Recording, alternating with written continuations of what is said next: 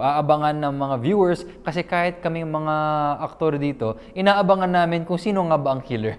Kasi kahit sa amin, hindi nila sinasabi. So it's a mystery for everyone watching, pero it's a mystery for everyone acting also.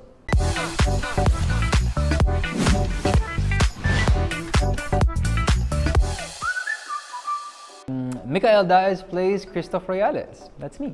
Um, as I mentioned a while ago, Christoph Royales is son of Gustavo na pinaka gustong pumalit sa kanya. Pinaka mag gustong maging heir dun sa throne of, as CEO of the company of Gustavo Royales. I think si Christoph is very uh, driven. I can share that quality with him. So I'm very motivated pag meron akong goal and I see that in Christoph and parang I actually pull, siguro you pull from many, many different experiences when you're portraying a character in terms of the drive and motivation ni Christoph. I pull a, a little bit of that from myself. Honestly, I love working with my wife. I work with my wife every single day, especially uh, during the pandemic.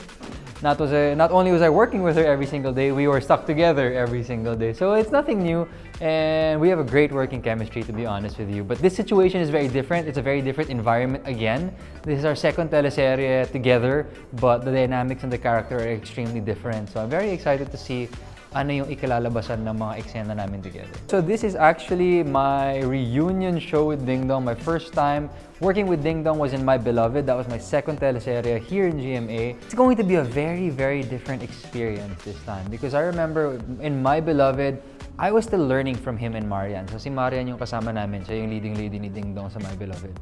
And I was always just watching and trying to learn. Baguhan pa ako noon. To be honest, I didn't really know much. So they were my mentors without knowing it, sa totoo lang. Kasi I would look for clues and I would watch how they would work to try to figure out what I could do to do things better also.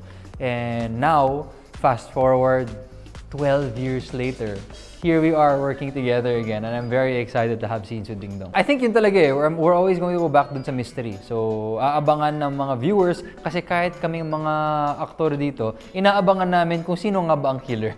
Kasi kahit sa amin, hindi nila sinasabi. So, it's a mystery for everyone watching, pero it's a mystery for everyone acting also.